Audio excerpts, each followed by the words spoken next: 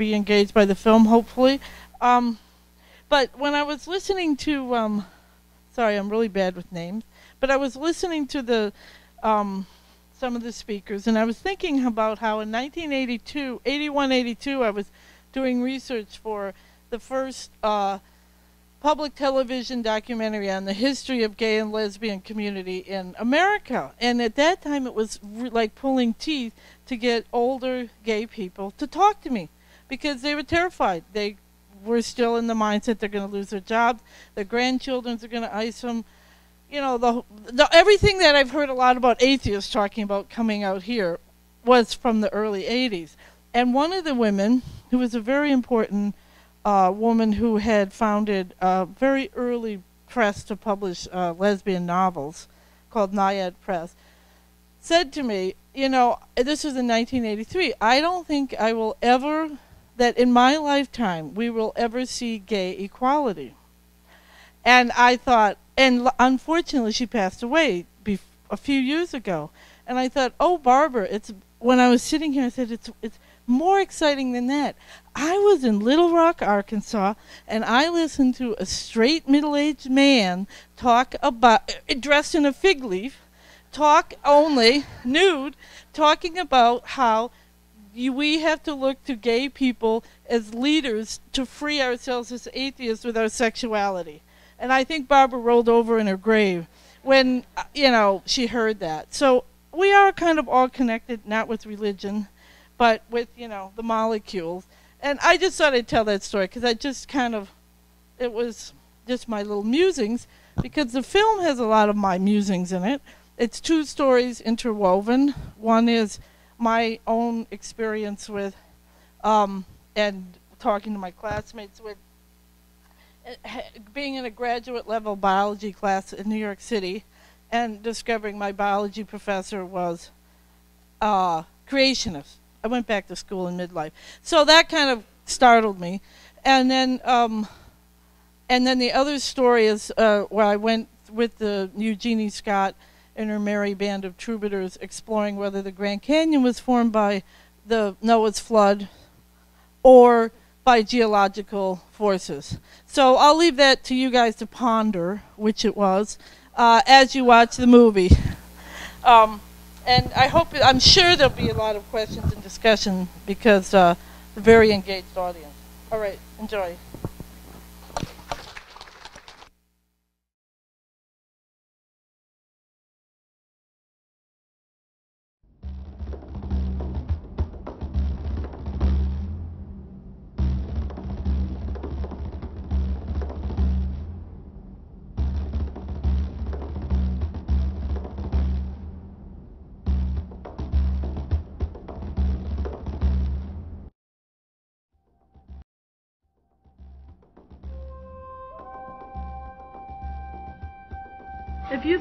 Thought that your child's science teacher didn't accept the theory of evolution, what would you think about that? I wouldn't think they should teach the subject. The Bible says that God made everything in six days, and on day six he made the land animals and he made Adam and Eve. And so if God made land animals on day six, guess what? I'm going to stand up in the culture and authoritatively say dinosaurs live with people. No, they actually didn't. Uh, because dinosaurs were extinct way before humans originated. I'm very upfront with my students. I say, you know, I teach science, and in science you link observations to evidence. So um, when I teach evolution, I tell them sort of flat out that a creationist perspective is not science. Without that idea of common ancestry, you really are, are missing the, the big net of ideas that holds biology together.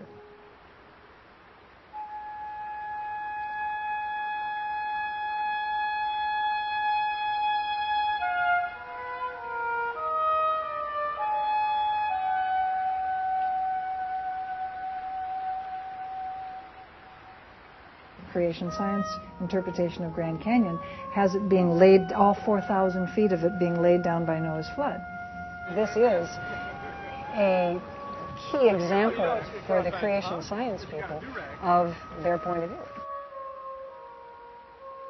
A strategy of creationists is to manufacture controversy and use this to try and impose their creationism into public schools.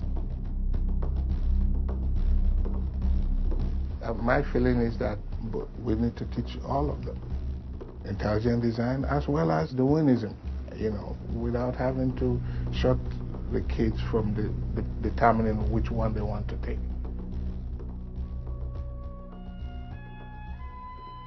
I don't understand how you can be smart enough to feed yourself and not believe in evolution. I mean, that just is so basic to everything, every aspect of life. All you have to do is look around you.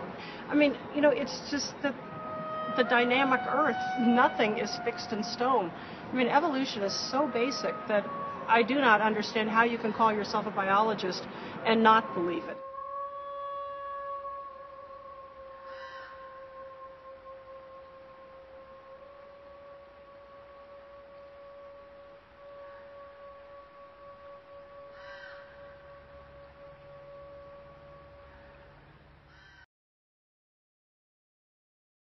Like we've gone into a controversy that didn't exist when I grew up, or at least where I grew up. And so I don't understand it. Do you have any thoughts on that? Yeah.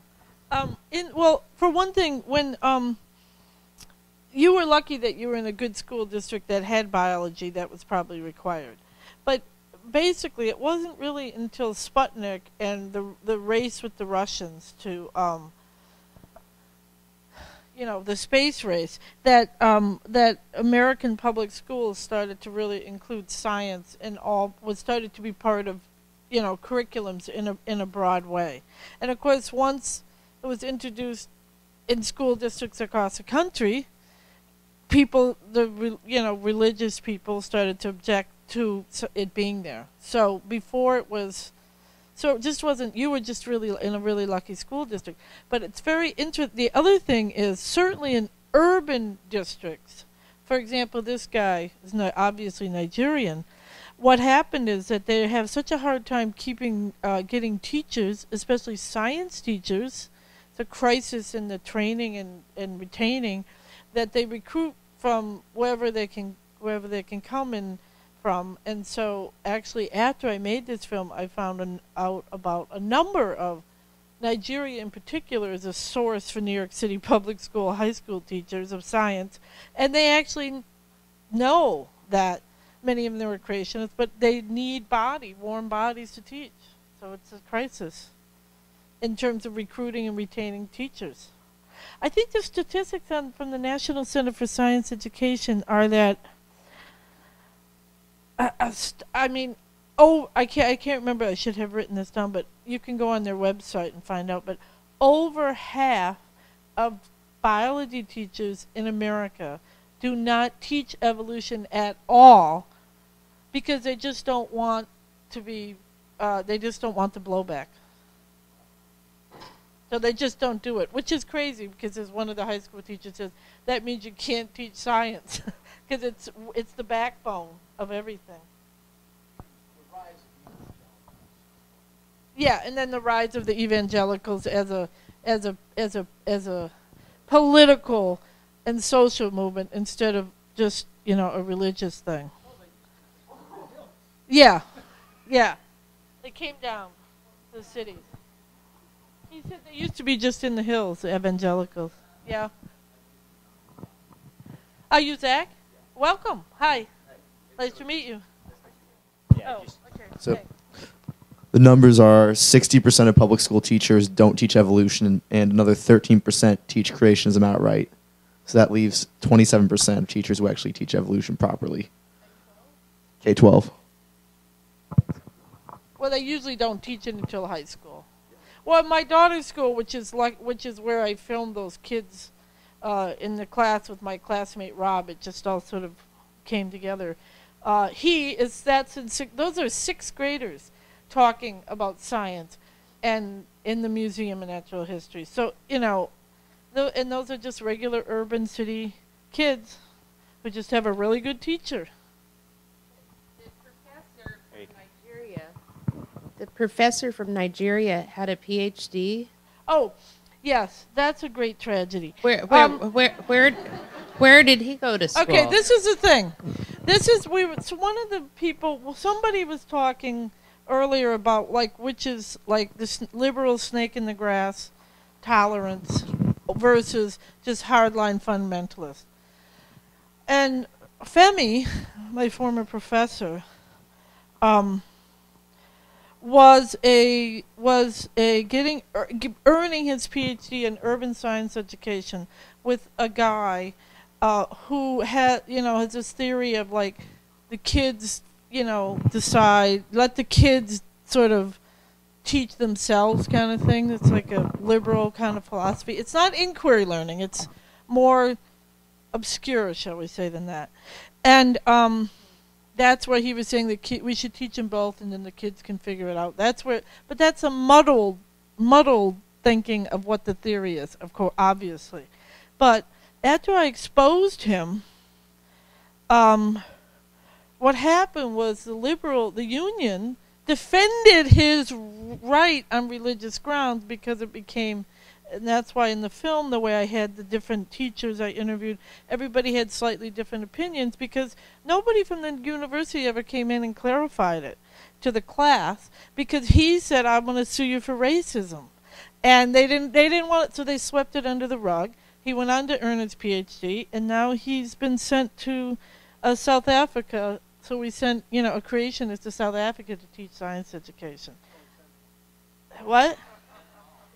So he's on some kind of National Science Foundation thing, and um, and it was interesting because at the at the New York Academy of Science screening last year, uh, afterwards I was having drinks with some of the people from there, and one of the guys said, "Oh yeah, I know Femi, but you know he's just his it's just his belief system. I mean, it doesn't really affect his teaching." I was like, "You're you're on the education committee of the New York Academy of Sciences. That's this liberal idea of tolerance, or you know, like just kind of it, it was weird. It's weird. It's weird. I don't get it." So did City College actually fire him, or He was he? an adjunct, so he wasn't rehired. But CUNY is a system that has 20 universities in it, so he just went and taught at a different one. Hey, Greta. Hi. Um, one of the issues that I was thinking about recently, um, there was a, I guess, a lawsuit filed in uh, Kansas regarding. This was filed by creationists, purported, or, and as I understand it, and the lawsuit, part of the content of the argument, as I understand it, was that some of the content of evolution would not be age appropriate. Uh, in other words, they were the, the attempt was to teach evolution at a very early age, and that part of their argument was this may not be the time to do it, and you need to teach it at a, at a different timing, so to speak. And I got to thinking about that in a lot of different contexts for myself, and I remember having some really silly notions about how evolution worked, even though I was taught it, uh, you know, and, and taught biology and science in a, in, a, in a California school and then later in a Texas school. Um, is the, do we have we do we have a really good mechanism and methodology for teaching it and answering that kind of uh, accusation from people who are trying to push a 5,000 year old Earth notion, which doesn't explain how we get oil out of the ground, for instance. Well, I mean, I again, I would just say like teachers like like Rob or and Barbara in the film who teach sixth grade kids evolution and they get it and they can tell us more than Ken Ham can. Then obviously there there are ways to do it, um, and and uh, what he does really is into he into integrates it into everything, whatever the science is. I mean, you know, science education is a huge academic field in terms of, of how to teach it. But I think a lot of those kind of what I those are frivolous lawsuits. Those are like we just want to find. We're just going to take like science is this giant thing, and we're just going to take little needles and and, and and and prick all around it. I mean, that's that's what I think. I'm not sure they'd call it frivolous. And I think it would be probably in, inappropriate and considering politics of a place like Kansas, incredibly stupid of us to dismiss it that way. And that's why I, I brought it up because to Mhm. me, part of the response needs to include um, a very methodical approach of saying, okay, we know what evolution is, and this is exactly what it is. It does not mean, to get down the weeds a little bit, it does not mean that if I go out and shoot in, in- during hunting season all the deer with antlers, that from here on out we will have antlerless deer. It may mean we just have no more deer, okay? And so we, I, I feel like that's the kind of weed level stuff that isn't getting done. We stand up here in our ivory towers because we understand what evolution Mhm. is, and we poo poo people who haven't done the groundwork. And I think to a certain degree we have an obligation to make sure that there's no confusion whatsoever regarding what evolution is and what we're going to teach at every single stage, and make sure dead certain that we're not messing up on our side so that when they come at us with you know what we purport to be frivolous lawsuits we can defend those like it was done up in Dover Yeah. Well, I didn't mean frivolous as I didn't. I meant frivolous as it's they know that they there is no proof for it. You know, there's no there's no scientific evidence against evolution. That's what I meant by frivolous. But I mean, the thing is that um, it's interesting because like the sort of um policy strategy uh political strategy of like the National Center for Science Education. They'll say education isn't it's not about education because it's social political. You can't you can't prove you can't provide proof for the evolution and then they'll go, "Oh, all right then. I I accept the evidence" because that's not how the thinking works. Which is different than what um oh God, the guy from Austin, the last speaker today then it's blurring the names. So anyway, what he was saying was just he was saying, no, we have to talk to them because there are cracks in the armor, and we do have the evidence, and there are a lot of individuals who can be convinced. So it's a little bit of a different strategy in the uh, within the people who, you know, accept evolution as how you approach uh, ind- individuals. But I mean, another thing that I tried to do in the film was that uh, some people have said, oh, he's such an obvious target. I said. Well, he is because that's how I structured the film. But you can be sure that when they called him, when he said you can learn it one way to pass the test, that's exactly what he did. He learned it really well. So when he was called in before his, you know, whoever was judging him as an academic, he kn- knew all the right rhetoric and all the right language. You saw how he changed his language from one part of the interview to the next. Um, and that's what they do. I have a hunch that this guy actually once I outed him and went to the administration and was like, "This is like the loony bin. Lo- the bin is being the, the asylum is being run by the inmates here." Um, and he um, and somewhere in there he got he went to some legal group or somebody advised him of the changes language.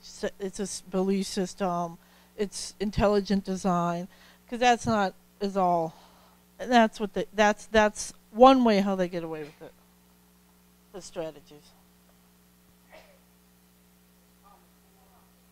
Oh, a Common Core. Oh, yes, thank you. I'm sorry. When I was uh, the Common Core does common the common co- one thing is one reason we have more of a problem here than in other countries is because all the rest of the world have common curriculum set on a national level and it's run by people who actually know something about the subjects that's setting their curriculum. Whereas we have individual school boards that people are elected to and they have the and then they can make the um, then they can you know put forward their own curriculum and, and whatever that's and and and change the rules and decide what they're going to teach them and you Zach could probably talk a lot about like text why Texas is so important because they make the textbooks. But um that's another way because we have like a million school boards. And and everywhere else in the western world they have common core they have common curriculum. In fourth grade this is what kids need to know and this is it's based on actual academic criteria. But the, our Common Core does address it, and there's a few states that are not wanting to be in the Common Core because it includes evolution. At what age? What, age? Yeah. I don't know. Do you know? What age on. does the Common Core address evolution? So evolution's normally seventh, ninth, tenth grade, as far as I'm aware, and I know that can change state by state. Um, I think the interesting thing on Common Core is actually, if y'all have seen what's happening in Kentucky, where Common Core is apparently the evil, fascist, um, elitist, rich man's religion of evolution, and that therefore shouldn't be taught and is going to cause lots of problems. That's what the creationists there have been saying. Um, and um, the good news on Common Core is it actually prevents things like Texas having a monopoly of, over the textbooks. Because right now, Texas has 10% of the students in the country. And so when Texas makes a textbook, states around the country end up using that textbook because publishers don't create new books. But suddenly, if Common Core is adopted in 40 states around the country, then there'll be essentially a block of maybe 80% of the students in the country that's much larger than Texas's 10%. I I was wondering about electronic books and maybe that, you know, the, the Texas monop to that Texas book publisher companies won't have the monopoly so much if things get a little bit more electronic, and then schools around the nation also have a choice of which books to choose to buy, and so maybe it won't be as much of an issue. I mean, beca- because um, electronic. Well, I think electronic books for textbooks are still pretty much controlled by the same. They take the same amount of work for the researches, the writing, the testing, the curriculum development, and all of that. So, Mm. you know, I'm not sure. I well, we don't know. I mean, the digital age is going to shift everything. But I don't know about it in that regard. I mean, actually, the digital age is actually. I think there was a session on it today. I missed it. Uh, not directly addressing evolution, but about how, because of this, what I call the Apple Mac approach to life, which is everything's equal. You just push a button. You just go on. You just Google something, and and if you Google creation creation versus evolution, you're going to get 20 creationist sites and you know two evolution sites but there's no differential there's no you know there's no expert who's e- the editor who tells you which is valid and which isn't. So every person has to individually do that research and figure it out which is you know huh? Yeah yeah it's harder. Yeah. I, I have a question. Um, to me, it's a clear issue. It's a religious agenda, and we don't have prayer in schools because that has been um, settled in court. I don't understand how this cannot be um, a legal battle that's settled easily. It, it is every time. But this is a really good point. Every time it goes to court, they lose. Since Scope, which was they they which Scopes was uh, Tennessee monkey trial in the 30s, in which they the science teacher tried to teach evolution was, you know, was not allowed to teach evolution. He lost the case. But ever since then, every legal case comes down on the side of teaching evolution. Um, the latest big one was Dover, which was uh, very important in terms of legal precedent. But as we know, if you're a religious fanatic, you don't care about secular law. You just care about what you think and what you want to, what, what, how you want to live. So it's just a lot of it is not like the school board says, okay, we are going to officially allow people to teach. Uh, believe me, the science department at City College did not think that Femi uh, was going to not teach evolution or was going to talk that crazy crap that he was talking. However, um, he just did it, and then it becomes up to one individual, in this case me, who says uh, hello, and then everybody else kind of, uh, most of the students joined in, but the administration didn't want to deal with it, even though the the science department was like totally flipping out. He was completely ostracized. But you know, it's just it becomes political or social. But legally, it's it's kind well, it's like desegregation. We've had desegregation on the laws of the country for since Little Rock, and uh, we have a lot of racism and segregation in our schools still. You know. So I think that's why. I mean, it seems really obvious, and it is obvious, but it doesn't stop. Uh, okay. Um, you sort of addressed part of my question, but it seems to me that Fem- Femi, is that his name? Fe- Femi was arguing from a, a separate magisteria. In other words, I can separate my religious beliefs and I can teach science. And I think there have been, did Stephen Jay Gould kind of support this in a way or something? I, I know Dawkins wrote about it in The God Delusion, and I think he brought up Stephen Jay Gould. Well- might have supported that. But my question is, um, and you kind of answered that because why didn't it matter to the administration that he was not willing to teach the subject? And you see, why did your classmates not all stand behind you? I guess. Well, because so all my class students didn't all stand behind me because some of them were creationists, and they were teaching science, and they and what happened was it was a special program. I was the only one who wasn't already a science teacher. Well, they were already teaching science, and they and the mayor said, okay, to continue teaching in New York City public schools, you have to earn a master's degree. So they were all getting their tuition paid by the state to to to to get a master's degree, and they just this administration did not want to go into a long drawn out legal battle with the union supporting him and the um and the uh um and the uh st- and and they were worried that about their state funding for this master's program where they were supposed to be raising the level and you know they just wanted to brush it under the rug you know how they, that happens well maybe you don't probably you're probably more li- live in a more ethical world but it happens a lot on a lot of things And we have time for one more question. What made you want to make this movie? That's a good question. I mean, I made a lot of movies on a lot of different subjects, and I was going to not make movies anymore. I went back to school to get my master's, and then I stumbled on Femi in the classroom, and I kept, and I tried to fight it through the channels of the administration. I went and I was like, I mean, half the half the people just dropped the class, um, and they were just basically like. He was sitting in the movie. He's we're in a class and we're having a discussion. Those little animated dinosaurs are verbatim. I like. I was so flipping out. I just started writing down everything someone said to keep myself from, you know, saying something I would regret. So I wrote down everything that the, was said in the classroom. But what? Yeah, the verbatim. Yeah.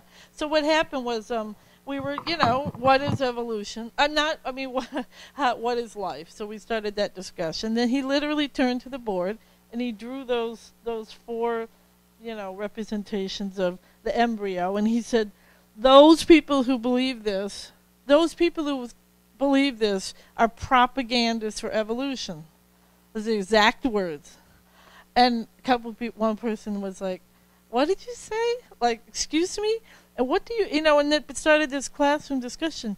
This guy had like, um, I knew he was kind of off because he, when he would turn on his computer, he had a biblical quote on the screen before he would start his lectures in class. So I knew "Oh, this is kind of weird. So, but that's how I be, that's how I found out that he actually really was. And that's the thing. Okay, he might know about some of the mechanism about evolution. He was definitely in that classroom to teach that it was okay to be a creationist. That was no doubt about it in my mind. So then I was like, okay, I am a filmmaker. I have the skills to tell this story to the world because people usually because he's they're very slippery these creations. They're not always just overt. I think they're more overt in the south than they are in the north. Uh, and um, from what I can tell from being here, from hearing, listening to everybody, um, but uh, so that's why I made. So then I just said, well, okay, that's what I do. I make movies, so I have to make a movie about it. And then I get, then I heard about the um, the Grand Canyon raft trip, and I was like, well, that would be really visually stunning, and that's such a to us who uh, accept what science is. It is so obvious that the Grand Canyon is geological formation that I thought it would be an interesting little visual way to tell to explore some issues. How? Genie? She's yeah, she's still there, but she's about to retire. All right. Well, let's give right, it up for you. Greta Schiller.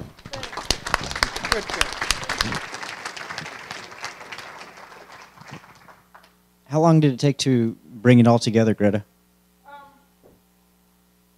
Well, first, first I went out and I, I once I realized I wanted to make a movie, I went and interviewed my fellow classmates to get a to find out if I um, remembered things the way I thought I remembered them, and I did.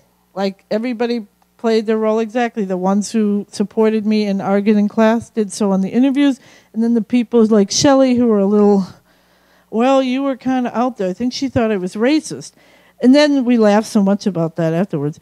But um, she was a little. She thought, you know, uh, that that you know, he had a right to his opinion, and I was being like over the top. So uh, after I interviewed them, I decided. Then I so that was I don't know. So I mean, probably from when I interviewed them to the finish to the ending of the edit, mm, two years, two and a half years, something like that.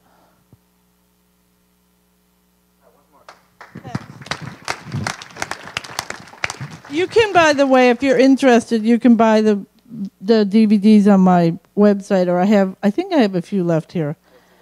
Uh, I, my um, nodinos.com. And also, you can watch it online. So if you're at, you know, hanging out with oh. people over Christmas and they want to like sing Christmas carols, you can say, "Let's go in the den and watch a good movie."